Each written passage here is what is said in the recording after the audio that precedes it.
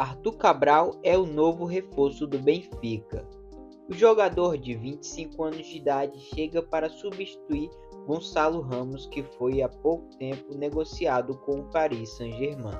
O jogador custará aos cofres do clube português cerca de 20 milhões de euros, além de 5 milhões de euros de forma variável na medida que ele vai alcançando todas as metas acordadas.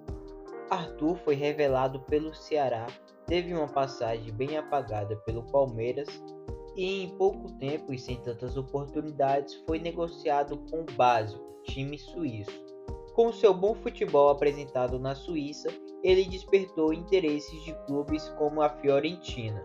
Já na Fiorentina, ele se concretizou como o maior artilheiro da história da Conference League. Será que agora com um clube de mais destaque ele vai chegar na seleção brasileira novamente? Curtiu o vídeo? Então se inscreva